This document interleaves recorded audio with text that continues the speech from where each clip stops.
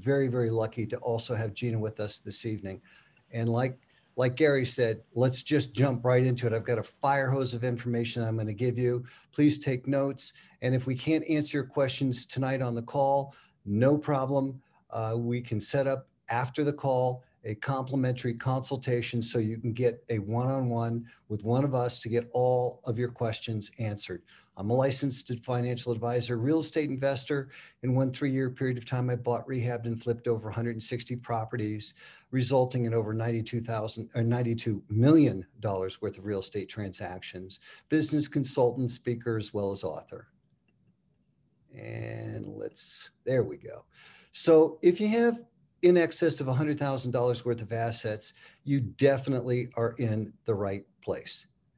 Uh, we do have a funding program. Uh, we can talk about that at some future point. Uh, there is an 0% APR component to uh, one of our funding solutions, but I'm going to skip past the rest of these funding slides if you don't mind, so we can get right to the meat of tonight's uh, discussion. Uh, just when you think everything you've worked so hard for is going great, just like that, you can lose it all. And I'm sure that everyone who's on this call, if you're a seasoned real estate investor, you know another real estate investor, if not yourself, who's gotten themselves into some uh, serious uh, problems because they got litigated against. Uh, and it's just an unfortunate reality that we all are subjugated to here in the United States. Uh, our trust, the Titanium Vault Asset Protection Trust, is the absolute perfect solution. And we're going to show you how and why as we move through the pre-zo. So a building block. Well, what's a trust? Well, it's a contract. It's a contract between the grantor, the trustee, and the beneficiaries. Uh, it's your rule book, or the government will take control. You do have a choice. There are two common types of trusts uh, death trusts, better known as testamentary trusts, created in a will. They do not exist while alive, and they do require probate, which is a court proceeding. Now, I'll quickly tell you a probate story. Uh, probate story is I myself was a small uh, benefactor in a, an estate, and that estate, because it went through probate, was 15 years in probate. And I have seen cases where the courts, i.e., the trustees of the uh, estate, have taken up to 45% of the estate to settle the estate. So probate's not anything that any of us ever want to go through, and there are options. Then there are living trusts. They exist during your life. They do avoid probate, whether they are revocable or irrevocable. Our trust absolutely has a component so that you will not get into or have to be subjugated to uh, probate. So let's talk about the two classifications, revocable and irrevocable. By design, revocable trusts, unfortunately, cannot, do not, will not offer asset protection. Now, many people that are on the call do have a trust, uh, and it's either a living trust or a living will, which is really one and the same.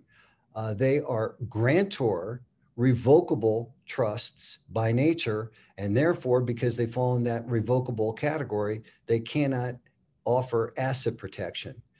Conversely, uh, our trust is an irrevocable trust, and therefore it does offer asset protection. Not that all irrevocable trusts do, but ours is a specialized type of irrevocable trust. Now, one of the questions that comes up at that juncture is well, it's irrevocable. That means that everything has to be decided today. Not the case. Uh, our trust is highly modifiable. So let's say you want to change a trustee, even if you're the trustee, or you want to appoint additional trustees, or you want to change a beneficiary at any time for any reason, you can at the stroke of a pen.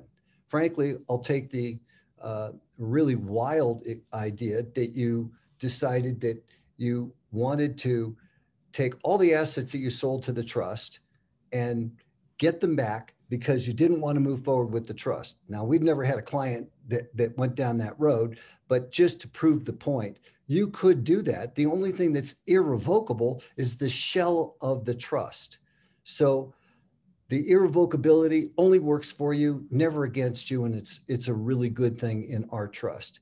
So let's go through kind of a checklist here of what our trust is all about and what it's not all about. First of all, we do have the ability to eliminate capital gains. And as you can see in the columns here, a C or an S or an LLC, a, somebody who has a holding company, a land trust, and or a living will. Uh, we have the ability to defer income tax. We have the ability because uh, we absolutely can avoid the, if you will, the implementation of uh, uh, lawsuits because when a potential litigating attorney becomes aware of the fact that that you have a trust, likely they're going to uh, fold up tent and leave because they know that they're not going to get anything. Uh, we do have the ability to avoid liens, judgments, uh, reaching the businesses. There is no probate. Uh, there's avoidance of gift tax, avoidance of estate tax, ensuring the beneficiaries that assets are transferred. Uh, it is a multi generational trust by design uh, for your heirs. And there are no annual fees. So that's a, a 2,000 foot flyover of what the trust is all about versus the other potential ways that you might hold your properties and other assets. Corporations and LLC. I call this the big fallacy about them being able to protect you because they really do not. And I'll illustrate why. It's easy to pierce the corporate veil.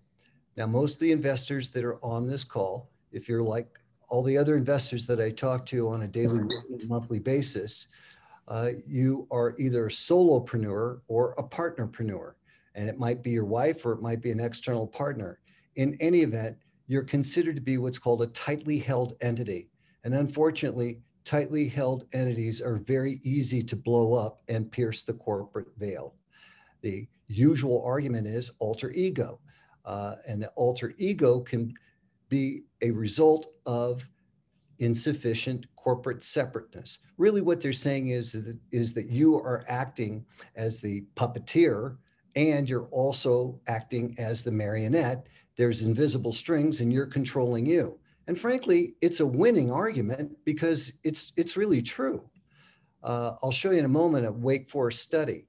Uh, these are all things that can also uh, come into play to to be alleged and potentially proven as alter uh, ego, which would pierce the corporate veil. Now, the Wake Forest story uh, study that I wanted to reference is a study that showed that in 39 plus percent of the time at the state, 41 plus percent of the time at the federal level, when alleged, they were able to pierce the corporate veil utilizing alter ego. So this is not something that I would ever want to take a chance at when you're almost at a 50 50 odds on given that if somebody's going to try and attack your C, your S, or your LLC, they're going to be able to get to you. Uh, you may not have heard about it. Reverse piercing is a, a newer kid on the block, yet it's a very powerful and potentially painful event. It's when a lawsuit against you personally can allow the plaintiff to recover damages by reverse piercing the corporate veil, allowing them to reach the assets in your business entity as well as your personal assets. Closely held entities are at high risk. So let's just say you get into a car accident or you get in, uh, that's a good example. Let's just use that. Uh, and you transcend all the liability limits that you have in your policy they then could come after your business that's in a CNS or an LLC and pierce the corporate veil for satisfaction. Not a pretty day. Entity stacking, I know that this is a very popular strategy where you may uh, reside in California. You may have properties in the Rust Belt. Matter of fact, I'm sure a lot of you do because I saw uh, the poll that was going on earlier, and a lot of you are interested in and, and currently do invest out of state. And then you get a LLC, uh, which is the preferred uh, vehicle, right? And it's a holding company either in Wyoming or Nevada. Well, that in and of itself could also be problematic because, of course, you need one LLC for each one. You need a holding company, and you could be opening your uh, yourself to additional taxation. Matter of fact, for each entity that you didn't do what's called a foreign filed LLC in California because that's the state in which you reside, you could be up for a $12,000 annual fine. Not pretty. Many people are not aware of this. They they don't have the foreign filed entities. They but they do have the holding company, and they do have uh, LLCs maybe in Michigan or Iowa or where, wherever they have the property. But that's not the complete picture, and that's not operating in compliance. So let's talk about what our trust is. It has many, many different components, but several of the components that we're going to focus in on on this evening's call are the fact that it is and has its roots in the dynasty. It's a dynasty trust. It's a non grantor. It's an irrevocable, discretionary, complex, and it's also a spendthrift trust. So it's all of these things. And there's a unique way that it's put together that gave us, which we'll discuss again coming up, uh, 58 copyrights. Now, one of the things that is shocking is the fact that you could have filial responsibilities coming knocking on your bank account door. So the story is here's a guy in Philadelphia. Mom gets ill. She gets into a bad, or, or mom gets into a bad traffic accident, and it is uh, convalescing for six months uh, in a hospital, racking up a ninety-three thousand uh, bill. She after she was ill, after her illness and, and she got better, she was released from the hospital and they tried to get satisfaction, i.e., pay her bill. She couldn't afford to pay it. Uh, and not like usual, where the hospital wrote off the bill, uh, they decided because they couldn't get collection that they were going to institute the Filial Responsibilities Act. And what they did was they went to the son's bank account and seized the $93,000. Now, this is crazy stuff, but it does exist. And he thought it was crazy. And if you study this case, you will find that he fought this all the way up to the Supreme Court of Philadelphia, where he promptly lost. So the time, the money, I mean, it's horrible. Now, obviously, if he would have had a trust, and he we, he would have been coached and would have been one of our clients everything would have been in trust except for a couple of thousand dollars in what i call an incidental account for his personal food his personal fun and and clothing and such. Statistically the number one uh, problem with people are slip and falls and statistically 33% of the people that are out there just walking around are going to get sued. Two out of three if you're a uh, practicing surgeon. And frankly, from the studies that I've done, about 50% of all real estate investors will get sued at one time or another. 109,000 lawsuits filed every day. Average business lawsuit is a staggering $72,500. And there's 91,000 PI lawyers all out there, all looking to put new cases uh, to work for them so that they can have more food on their plate. Uh, again, the number one problem is slip and falls. 25,000 of those happen each and every day. Uh, this slide articulates the fact that this guy got sued uh, by his contractor. The contractor was not doing work to code, but the flip side of this was he had to pay out $150,000 for uh, this case. Now, if he would have had one of our trusts, this could have never come to bear. Now, a lot of people say, no problem, I'm covered. Uh, matter of fact, I'm I'm covered because I have liability insurance, and on top of that, I have a an umbrella, and I have a million plus dollar umbrella. And I absolutely tell people uh, that having insurance is great, but it's not the end all, cure all, be all. I'll use the McDonald's case as an example. You may have heard about the hot coffee spill where the lady got spilled with the hot coffee that was at McDonald's. She got a $3 million award. But the part that you probably didn't hear is the fact that $2.7 million of the $3 million award was in punitive damages. And I've never seen punitive damages covered on any umbrella policy. So sometimes we think we're insured, we think we're covered. Then the disaster happens, and we find out that uh, Uh, we really do not have the coverage that we thought that we had. And this is where a trust steps in to fill the gap that absolutely can protect you because they cannot get a lien, a judgment, or an award that they can execute against a properly constructed trust. Asbestos claims, lead based paint, you've seen it all if you guys are doing rehabbing and, and owning properties. Uh, toxic mold, this is a case where Kellen Gorman received $13 million. Uh, it's, it's out there, guys. Then there's the possibility also of being classified as a dealer rather than a real estate investor.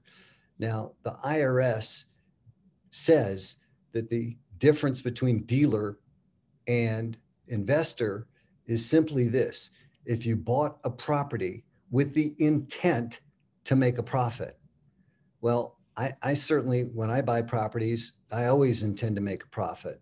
And therefore, you can see it's a very thin line.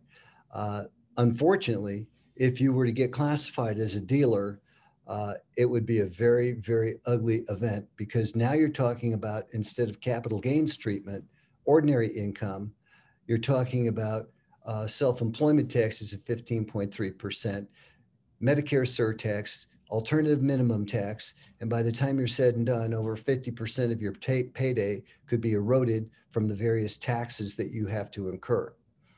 Uh, you also get precluded from doing other types of exit strategies and or using self-directed IRAs, 1031, so on and so forth. So it's ugly. That's the bottom line.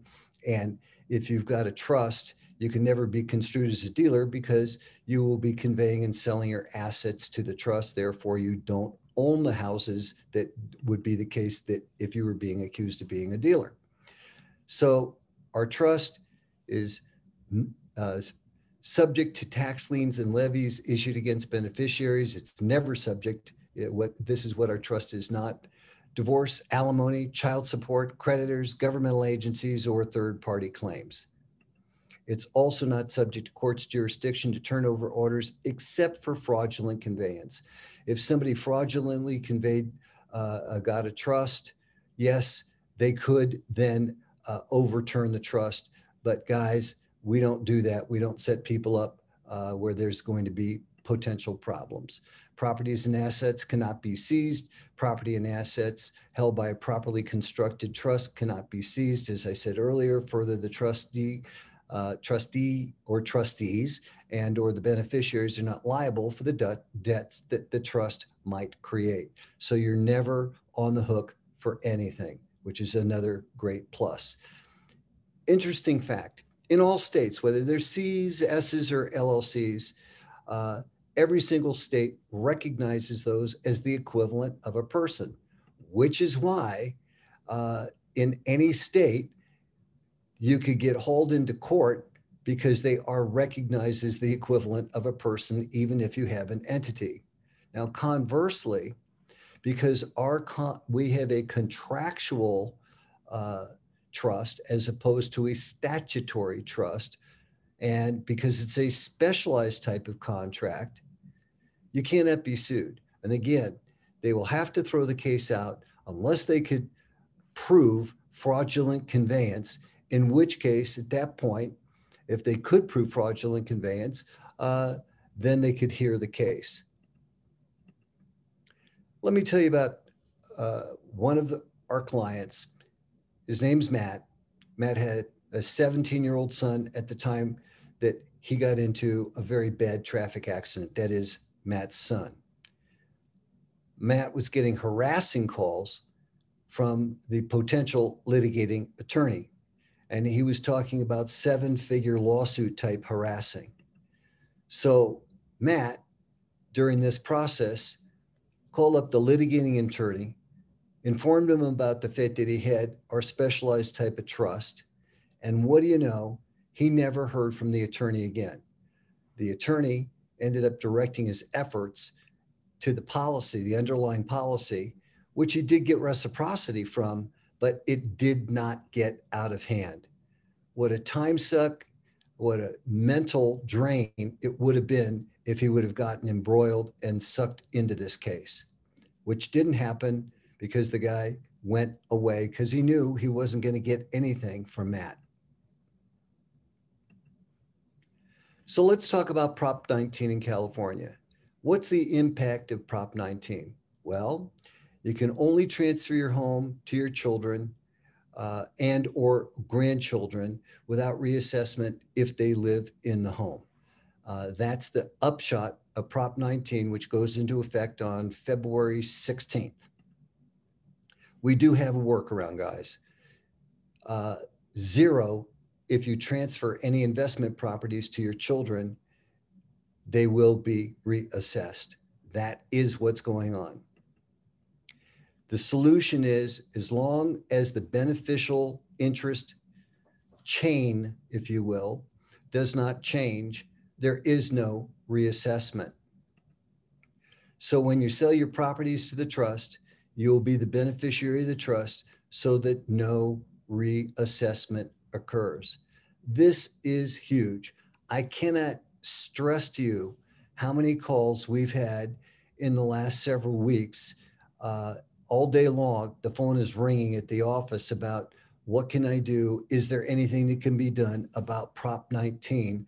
Uh, I've got a kid, I've got several children, uh, and the reassessments because my I bought my property at 200,000 and it's worth a million dollars, or uh, so on and so forth. And I have multiple other properties. So this is our, our strategy, our proprietary copyrighted trust is absolutely a Prop 19 killer uh, in the way that we work it, the way that it gets set up, and the way that it gets implemented. In a time of transition, I think th- this is very timely. I, I created this slide uh, actually earlier today. Uh, what will the administration, the new administration, do? What will they do to, well, first of all, uh, this is what I have heard. I don't know what you have heard, uh, but what I have heard is that there may be as much as a 40% capital gains in our future. There may be a lowering of the 11 million uh, this year cap on estate taxes down to as low as a million. And I know that may sound absurd to go from 11 million to 1 million, but uh, for those of you who might be a little bit uh, longer in the tooth, uh, you'll remember that back in 1996, the estate tax cap was $600,000. So when we look at it that way, the million dollar cap is really not that out of line. Uh, we've heard that there may be a significant increase in several of the tax brackets. We've also heard that there may be a lowering or even an elimination of mortgage interest deductions. I don't know. I don't have a crystal ball. All I know is, is this none of these things would, would, will, or do affect our trust. Our trust has been around for decades and many, many different presidencies and, and such and there has not been and will not be change. We do have the ability to legally reduce taxes, and now we're going to spend several minutes talking about that. We utilize our one of a kind registered copyrighted trust to defer taxes legally per IRS trust code. The trust document is written to defer and minimize income and estate taxes in most cases between 78 and 97%. Now, I want to parse that down a little bit. If you have an active business income, an active business would not be the real estate business. Lease and rental income, uh, uh, if you will, capital gains, that's all passive income. Uh, so if you get an active business, doctor, lawyer, dentist, CPA, maybe you own a car wash, whatever, then we're looking at roughly 78 to 85% annual mitigation where we defer the rest of that tax burden out in perpetuity. We'll discuss that, what that term means in just a moment. On your passive income, lease and rents, uh, you're looking at a 100% deferral. So there may be some cost averaging, or I should say, uh, tax averaging uh, done where you end up with somewhere in the middle. And that's why we like to use this range. We need to drill down and have uh, a discussion with you to see exactly where that's going to fall. There is zero gray area and there's zero capital gains until the trust distributes. So let's discuss the distribution provision that's uh, baked into each trust. The trust distributes in concert with the laws of perpetuity. The brief overview of that is you have passed away, all of your beneficiaries have passed away, all of your beneficiaries' heirs have passed away, and then a period of 21 years ensues. And at the end of the 21st year, there is an automatic distribution provision in the trust, which really becomes academic because at the time of distribution, and our trust, as all trusts, need to have a means to an end, and that's the end. At the time of distribution, everyone remotely connected with the family or the family tree has gone to seed and they do not exist. So when they're when the liability comes due, if there is a liability and the estate passes to the IRS, who cares? Everybody's gone. So really it becomes academic. And this, of course, was done by design through the genius of the creation of the trust itself. The way our trust operates, once we work with you and you understand the uh, principles of the trust and the and, and how to work within the uh, trust guidelines, which are very very easy.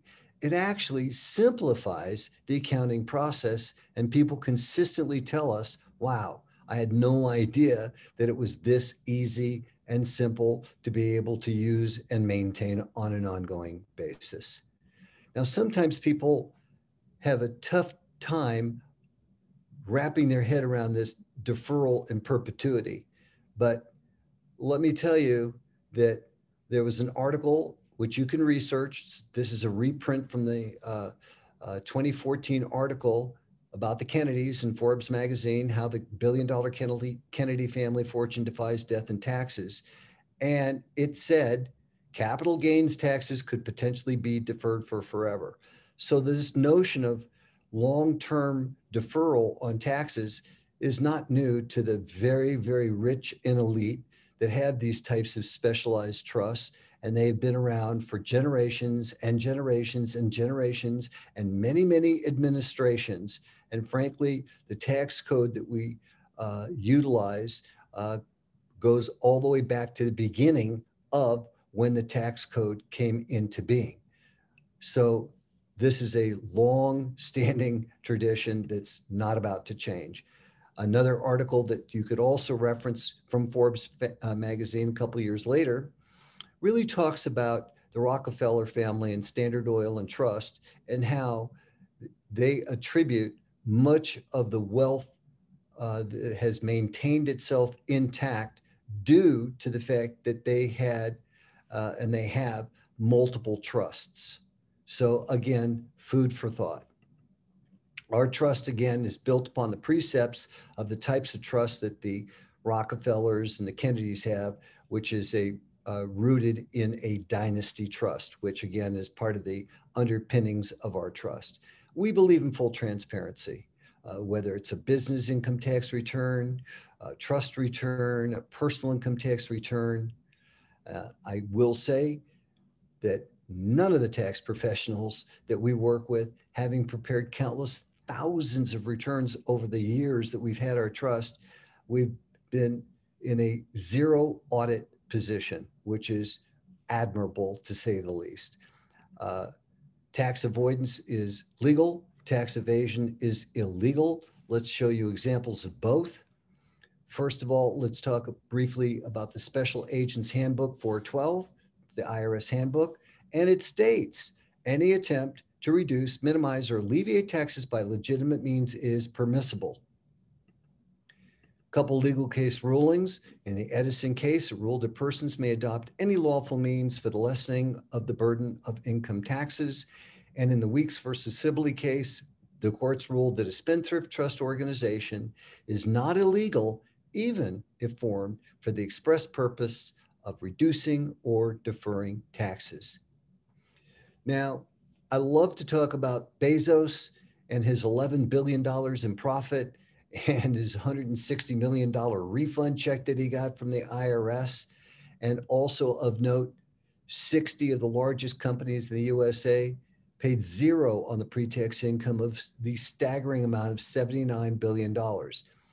Why do I mention this? Because I attribute this to both having good lawyers on staff and good tax advice. And we do too we do too, to certainly a lesser, a, a, on a smaller scale, but nonetheless, we do too. Let's talk briefly about the history. We have 58 copyrights granted going back to 1999. Uh, the trust came into existence in 1996. We have over 39,000 trust instruments out there, designed by a collaboration of experts that we have on our team and the payment of taxes is deferred until sometime in the future when the trust assets are distributed. We already covered that, so you know the answer on when the distribution provision kicks in. The trust have two primary purposes, that of both asset protection as well as tax mitigation whenever possible. We're in full compliance with all trust laws, Scott on Trust, the UTC, the Restatement Third of Trusts, and we conform to all contract, trusts and tax laws in all 50 states. What makes our trust unique? Based upon the fact that our 58 copyrights, they have a very unique way in which they interplay, which gives our strength, our, trust the unique strength uh, that it absolutely has that nobody else can copy or duplicate. Otherwise, uh, they will get litigated against. Uh, we've got the irrevocability clause, the non-grantor complex discretionary, and the spendthrift provision. I'm going to key in on a couple of the important ones. Uh, likely you'd be the trustee, and likely you'd also be the uh, overseer or the compliant called the compliance overseer of the trust as well. The spendthrift provision is is an important one. Critical element of the document in, in that there's never been a properly constructed spendthrift trust corpus that's been able to be penetrated to reach the assets of the corpus. And again, there's never been a properly constructed spendthrift trust overturned. Now, if there was fraudulent conveyance, all bets, of course, are off. Tax reduction strategy or copyrighted trusts are designed for the benefit of the beneficiary or beneficiaries. Beneficiary expenses are paid directly from a bank account to a third party.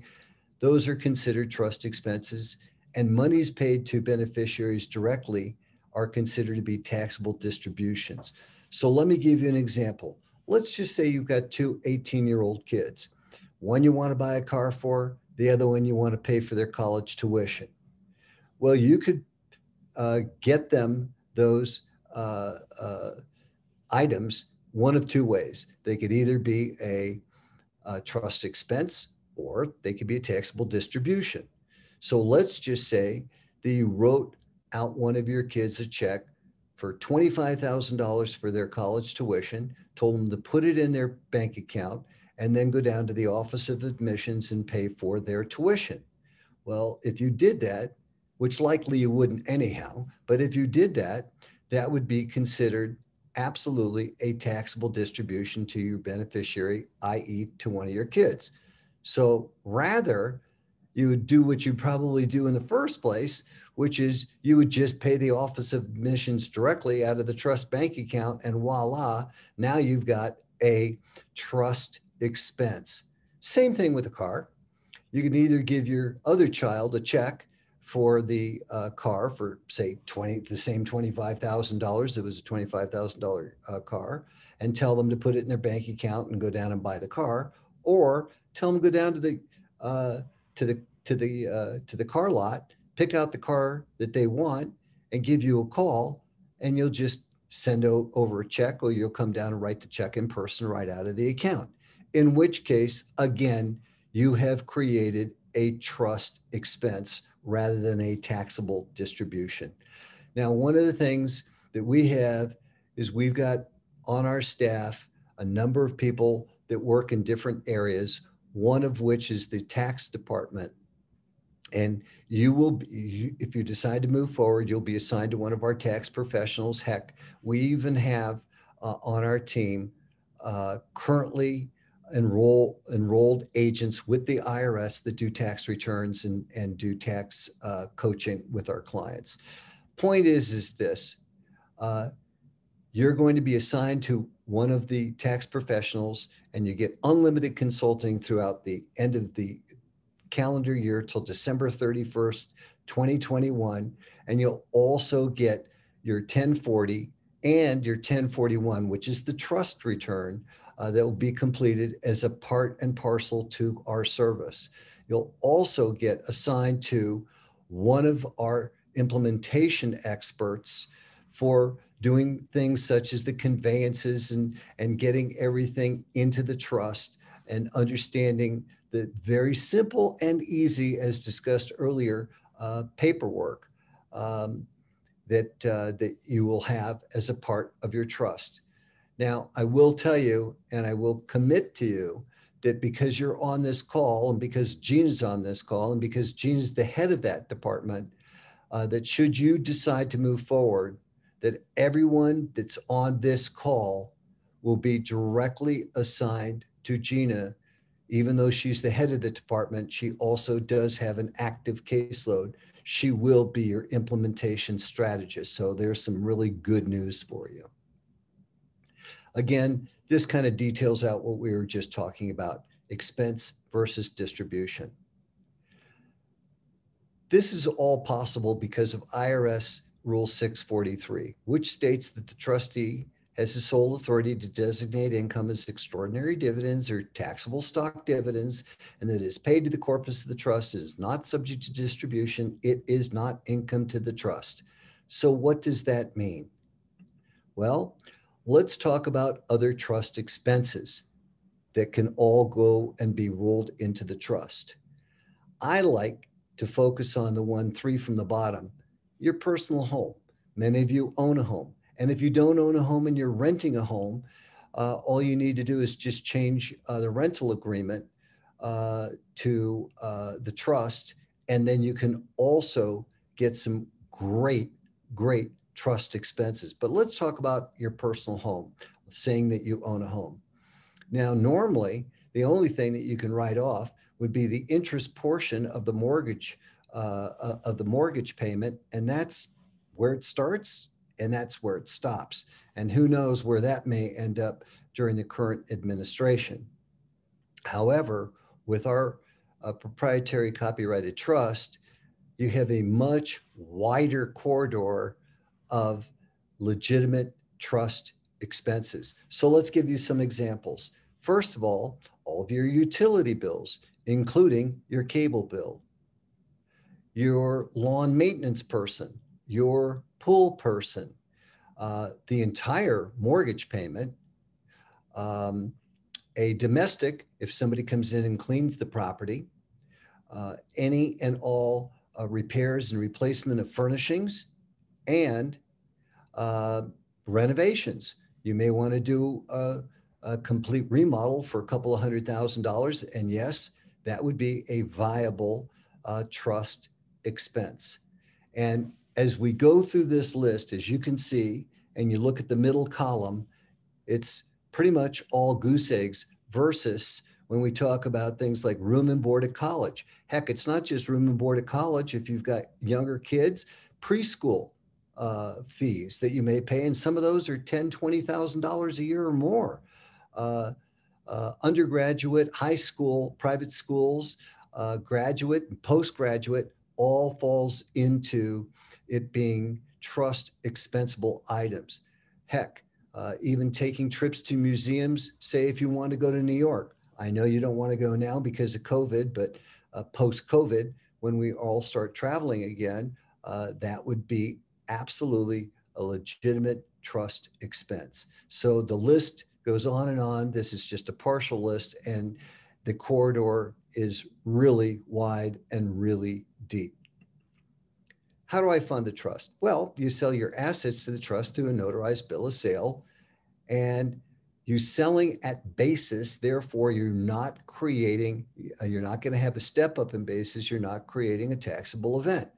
Hard assets such as equipment and computers, also intellectual property if you have it websites, handbooks, copyrights, trademarks, customer lists, etc., etc. Now the assets are owned by the trust and any asset can be leased back to an entity. How do I fund the trust?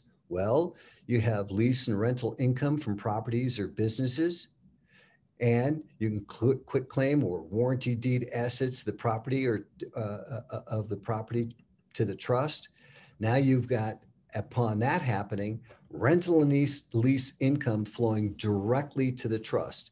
Now, you you can also continue to have them pay it to an existing LLC. I know that's a question that's going to come up, and and and work a operating agreement, which we can discuss uh, when we open it up.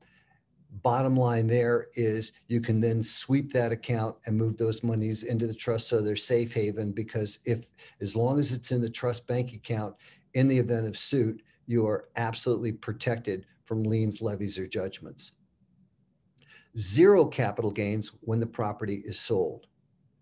Now, this is huge. Uh, we are the anti 1031 exchange company, and I'll, I'll jump into that in a little more depth in just a moment. You have the ability to expense all interest payments related to assets. So, how do you get money out of the trust? Well, once the assets are sold to the trust, there's going to be the other side of the equation, which is you're going to be the recipient of a demand note for reasonable valuation of the assets that you sold, whether it's your coin collection, your stamp collection, jewelry, uh, fine art, cars, certainly properties, apartment buildings, whatever. It all goes into the trust. Now, the question sometimes comes up well, what if I don't want to sell an asset to the trust? Well, you don't need to. Nobody said you had to. It's not an absolute. But I always like to pose the, the question coming back the other direction why wouldn't you? Because you're going to be getting the tax advantages and you're also going to be having that bulletproof asset protection once that asset is owned by the trust. So let's talk about the demand note for a moment. Let's say you sell your assets to the trust uh, for their value. Maybe it's a million, maybe it's 5 million, maybe it's 50 million. It makes no difference. We then issue a demand note in the amount, uh, or I should say, you can then issue a demand note at any time and for any reason for any portion of that demand note. Uh, and any monies that you take out from the principal of that demand note, good news, are tax free dollars. Tax free dollars. So, this is a great way to fund your lifestyle. And actually, uh, this car that we're looking at and or representatively the home, the yacht, whatever, uh, this can be, these can be bought from lease and rental income, which would not uh, originally be a part of the demand note uh, because you didn't sell those. This is now new income that's coming in, right? And when that new income uh, comes in on on the demand note, the only thing then that becomes taxable is if were, you were to use the money in the trust, irrespective of that demand note, which is separate for personal food, personal fun, or personal fashion. So if it's not personal fun, personal food, or personal fashion, it's going to be a legitimate trust expense. And we can go through what the what if scenarios until we're all purple in the face, but we'll always get to the same place unless it's personal food, fun, or fashion. It's going to be a legitimate trust expense, right on down to exotic cars, great homes, uh, uh, yachts, RVs, you name it. First, uh, pardon my interruption. I just want to give you a time check. Yep. We're at 6:30, and we want to leave a little bit of time uh, for Q and A and for some networking. So I'm not sure. Thank you, Gary. I think we're not five more minutes and we're done. Perfect. Thank you. Okay. Thank you very much. I appreciate it. So you have the ability to expense trust assets for managing the trust business, pay expenses for beneficiaries such as education, medical maintenance, and support. You have access to trust assets, including, like I said, cars, properties, yachts, and more. And the investment, the actual uh, initial investment in procuring the trust, also becomes a trust expense. So there are no seizures on demand notes as assets are sold to the trust. The basis in the assets are added to the demand note of the person selling the asset to the trust. Demand note is never subject to seizures or claims by any court or jurisdiction.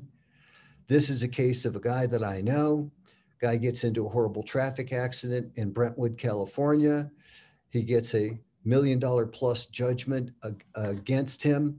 And unfortunately, even though he had an umbrella that covered uh, most of it, he got hit for out of pocket $250,000. And again, this is where we step in. I'm not going to tell you my $175,000 bad house deal uh, story because I want to leave time for Q&A. Least we say, if I would have had a trust way back then, I would have never, ever have lost $175,000 from a very predatory buyer. So, assets and trust, zero capital gains. And I heard that many of you guys took this survey earlier, and I think it, the number was something like 40% of you are involved in other types of investments, stocks, bonds, crypto, whatever it is. Well, guess what? That's all capital gains, and we have the ability to also, when you uh, start with the trust, eliminate those pursuant to 643A3 of the Internal Revenue Code ser- uh, Service. Crypto, currency trading, Bitcoin, selling assets to another trust, real estate acquisitions, buying, selling of your business. Hey, at some point in time, you're going to want to check out, and that could be a huge lump sum of cash, and also accompanying that, a huge uh, tax hit from capital gains that we can mitigate. No federal or state probate, no gift tax, zero capital gains on the growth or sale of trust owned assets. And the sale of assets to the trust are non taxable events. We wanted to just re solidify that. And there is no cap on the amount of assets that could be sold to the trust. And lastly, the IRS Code Section 643A3 calls out the capital gains and losses or exchanges of capital assets shall be excluded to the extent such gains are allocated to corpus. So, like I said, why would you do a 1031 exchange where you could end up with the exchange not going through because when you did your due diligence, the, the property had many, many uh, more repairs that you were than you were bargaining for, and therefore you blew out of that transaction and you couldn't find a viable replacement property within that 45 day window and now you get zapped for the entire taxable amount. Ugly. And or even if you were able to do a 1031 exchange now you're on what i call the 1031 exchange treadmill where when you want to get rid of that property the only way to get rid of it without incurring the accrued previous tax liability and the new tax liability is to get another property well, what if you just want to get off the treadmill and, and relax? Uh, with our proprietary copyrighted trust, this can get you out of that loop. And yes, we can take your 1031 exchanged properties, put them in the trust, and get you out of that loop. So I always like to close with what would your future look like if you were able to control what you earned? Now, one other thing, and that's this if you would like to have a complimentary consultation, if you would take a picture of this or, or jot this down, please go to platinumtrustgroup.com forward slash VAMS, which is V A M S, or give me a call. That's a direct line, and we'll get you on our list to get a complimentary consultation either with myself or with Gina. I think we're right on time. And I want to turn it back over uh, to you, Gary, and let's do some Q and A. All right, sounds good. So uh, let's uh, let's let's get some questions going. Eh, Nobody's got any questions. Everyone understood it fully. That's a good thing. And that would also be a first. So we got one question that came in uh, from Kimberly. Uh, does this tool, I'm assuming the trust, uh, make getting financing on properties more difficult? no. Gina, do you want to take that one? I work with clients every day that are financing properties inside of this trust. Yep. With living trusts, it is difficult to get financing for properties in a living trust or in a land trust. But this is a very different kind of trust. It works like a business. So your trust will actually have the same kind of financials your business would have profit and loss statements, balance sheets, income statements. And because of that, and because it is a discretionary trust, which allows a trustee to encumber a specific asset with a mortgage, it's not more difficult to get a property financed inside of the trust. Anything else?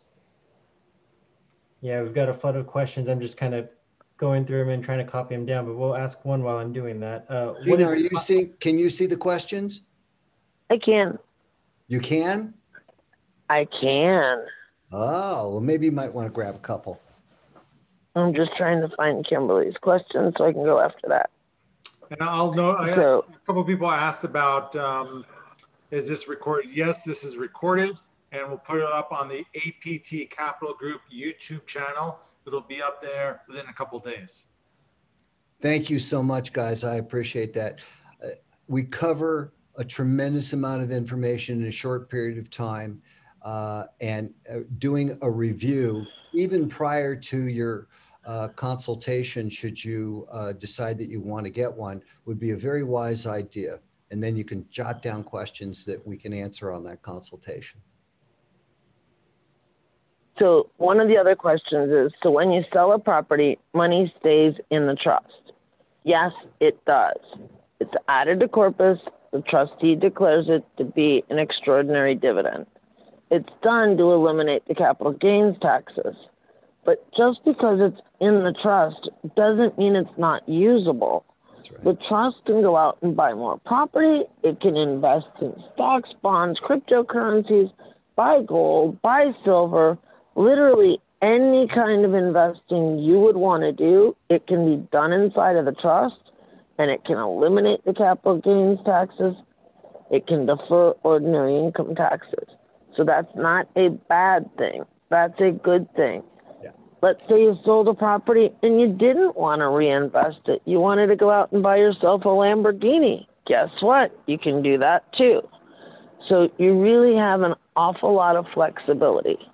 My PhD is in business and business strategy, yet this is the most flexible business tool I have in my toolbox. I've never found anything as flexible as this.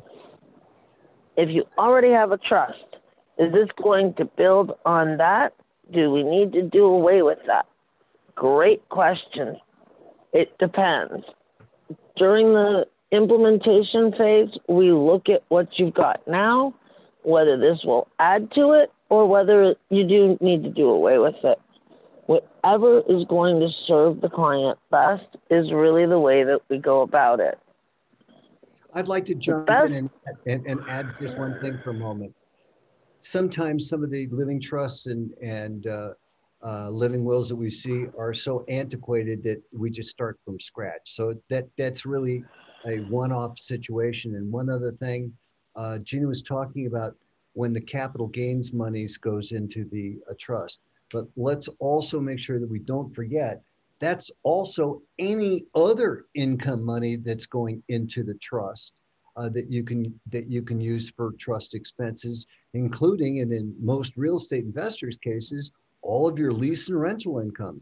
Heck, you might be making 20, 30, 40, 50,000 dollars on one apartment building if you're in apartments or or uh, multiples of that with multiple apartment buildings and or single family residences, of course, at four, five, six, eight thousand dollars a month per uh, SFR. So it's a combination of both, along along with uh, capital gains that you may uh, uh, that you may incur and the profit dollars that you may incur if you're liquidating things like Bitcoin or or your stock portfolio or parts of your stock portfolio. So it's not one thing; it's everything.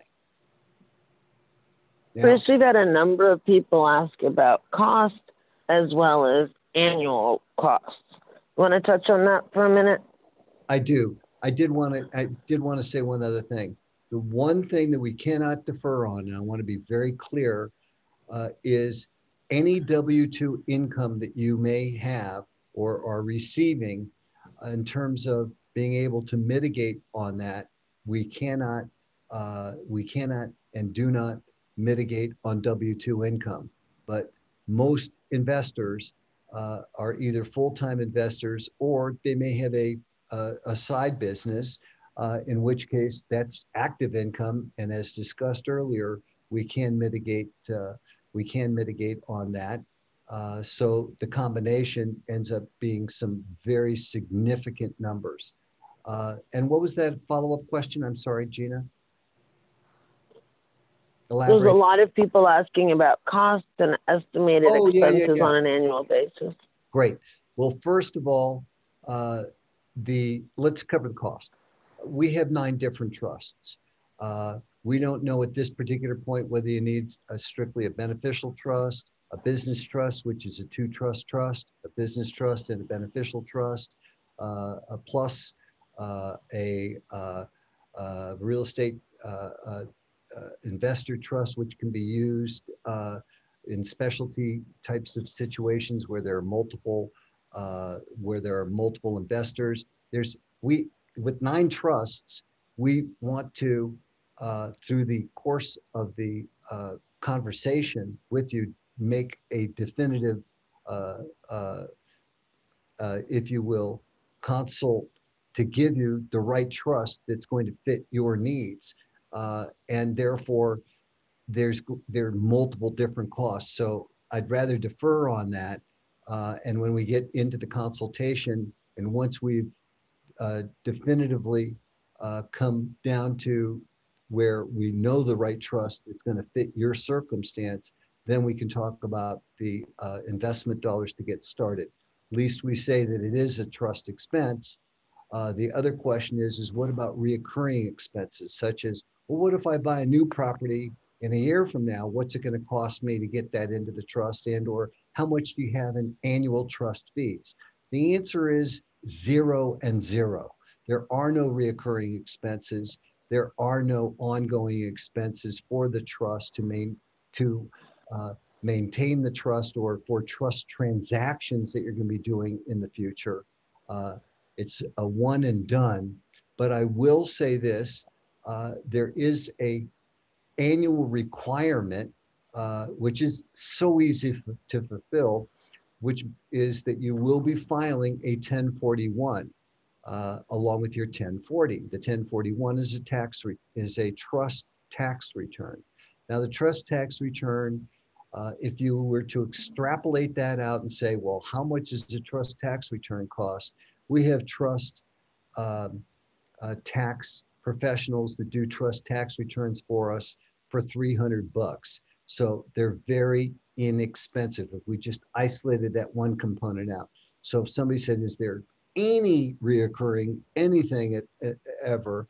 Yes, there is the necessity for the trust tax return, but it's really inconsequential in the big picture. We do have a ton of questions, so I'm hoping to do like a rapid fire here, maybe one or two sentence um, sure. answers if we could. Go ahead.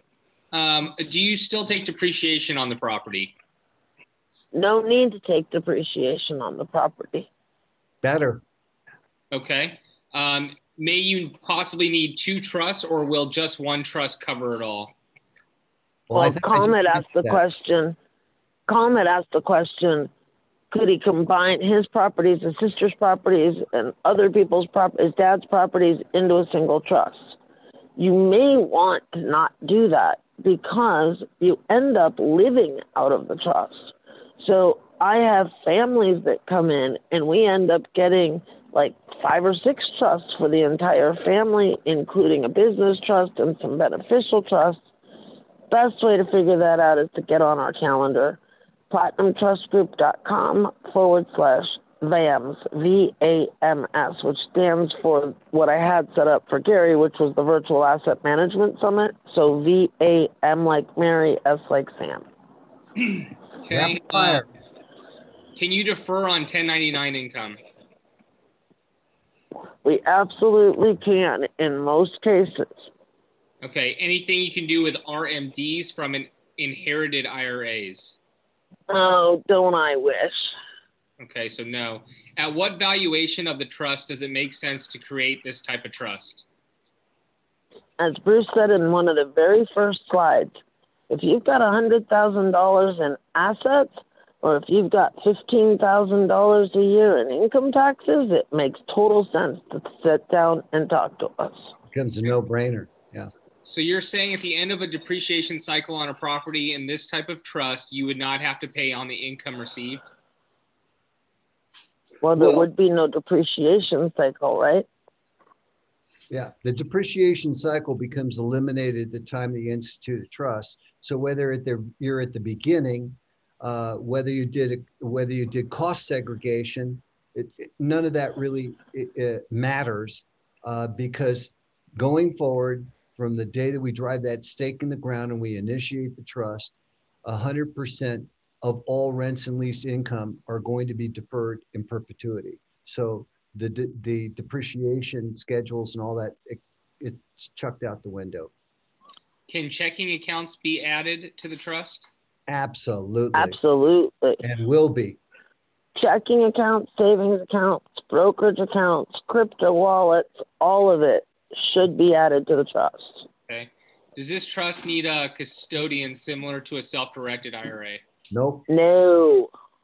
Can I sell my property to a trust and keep the financing that I currently have? Does my financial institution need to know that I transfer my property to a trust?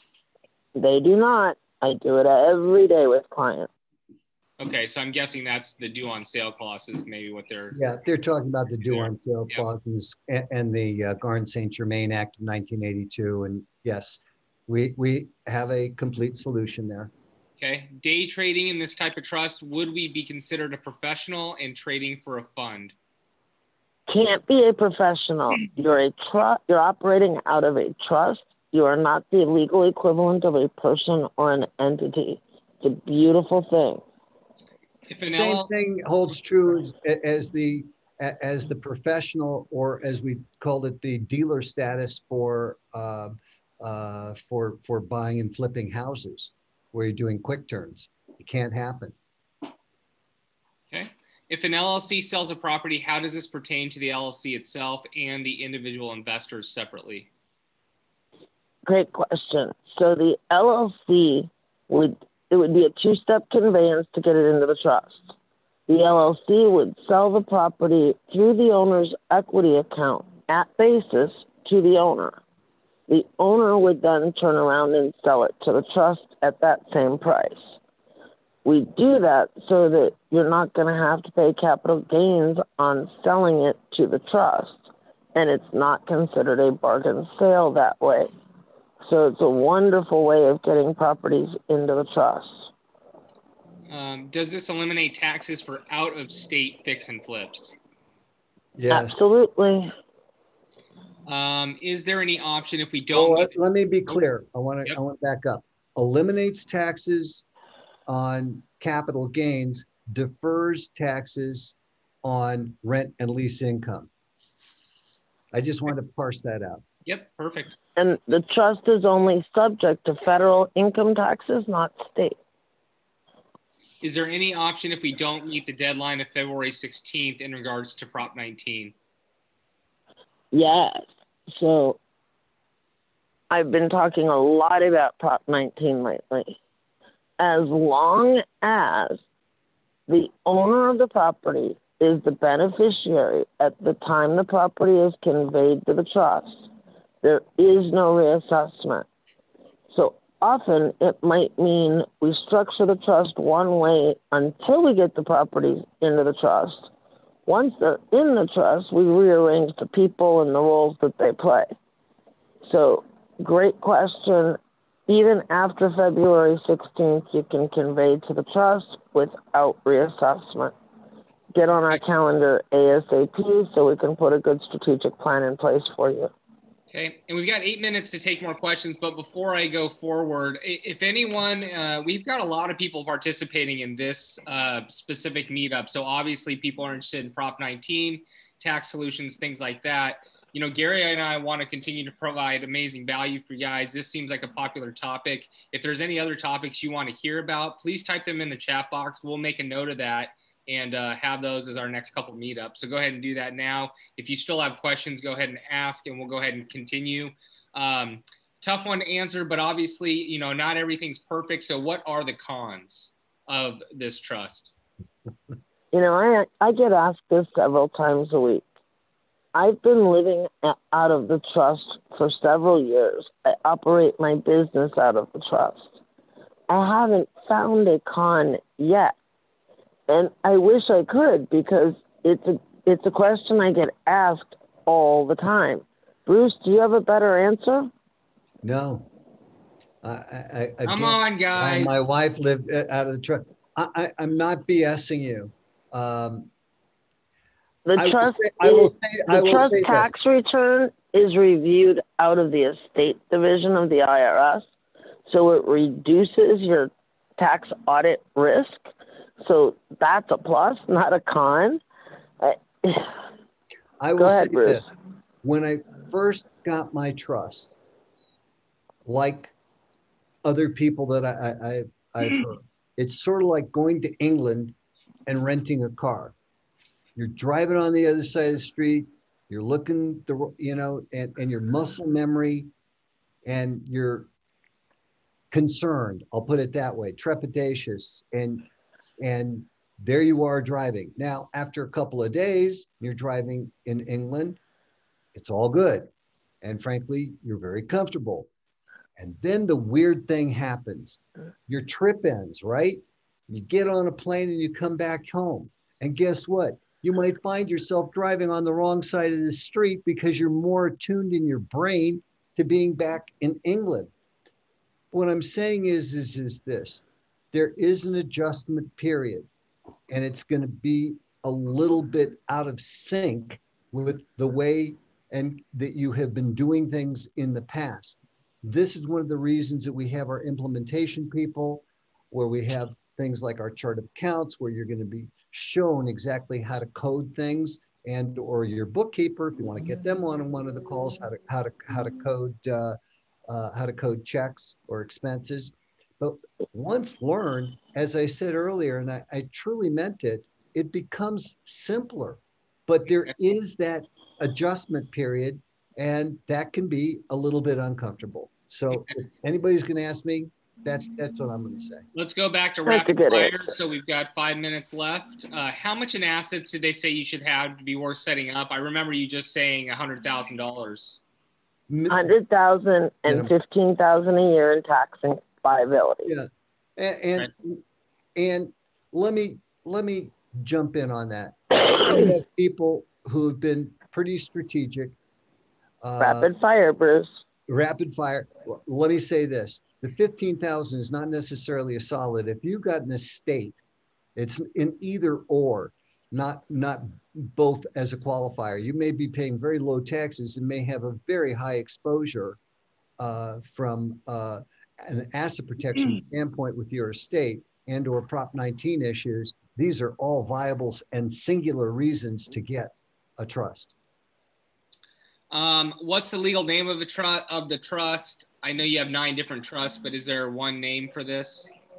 It's a non-grantor irrevocable complex discretionary spendthrift dynasty trust that is not self-settled can you type that in the chat? That might take you the rest of the time we have. But uh, you got it. Um, does the original entity, uh, I believe that says LLC, Seth, uh, S corp sole proprietor, become irrelevant once assets are sold to the trust? Can you elaborate on fraudulent conveyance? So it depends.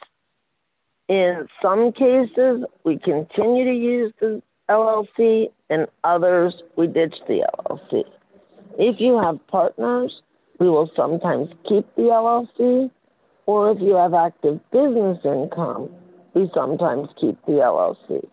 In most cases, if you're the sole owner or you and your spouse are the sole owners and you have real estate holdings in an LLC, then the LLC gets dissolved. Okay, how does this apply to international assets? Oh, you know what? I didn't touch on fraudulent conveyances. Oh, yep. Fraudulent conveyance. Fraudulent conveyance is really a complex issue, and it's one that's best dealt with on a, a one-on-one consult. If you're going to sign up for a consult, put a note in if you have a fraudulent conveyance issue that you need to talk to Gina. Okay. Uh, how does this apply to international assets? So I have several clients that have international assets and they have them in the trust so that they can protect them. They may or may not have tax benefits for sales of the international assets. I have one client that had a sale of an asset in France and it did help with French taxes. But the trust is designed to help with tax mitigation in the US, but it can help with asset protection anywhere. What do you do if a property is already in a bypass trust? Are we still able to make changes? We'd have to talk more about your bypass trust, maybe. Probably want to take a look at the at the uh, at the trust and make a determination. Would be would be uh, uh, the easy most expedient thing to do. Okay. And Dr. Gina just put the name of the trust in there. It's at the bottom of the chat just for anyone who wants to know. Thank you very much. Is the trust only valid until you die? Oh, no, it's a multi generational trust. By definition, a dynasty trust is one that exists beyond the death of the beneficiary, the beneficiary's heirs. So it is a multi generational trust.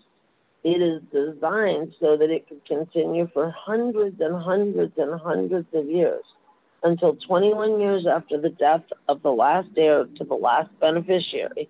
This trust continues to exist. All right, we've got one minute. So super rapid fire. One word answers. Can consultation be in Spanish? No, Does your typical client work with your CPAs on staff? yes, Can you purchase life insurance through it?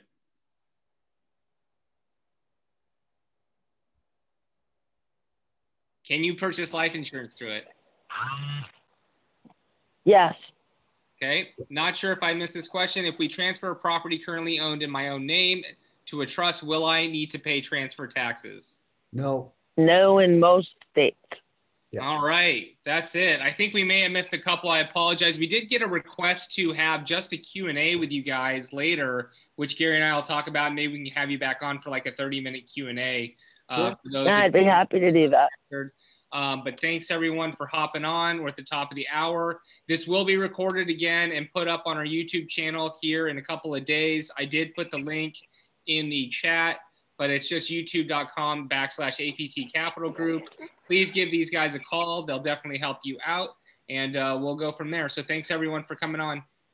it's been a sincere pleasure, and I, I can't thank you enough for the opportunity to get this timely information out to all you great people. Thanks everyone. Yep. Thank you guys. Bye, everybody. Bye bye. We look forward to speaking with you soon.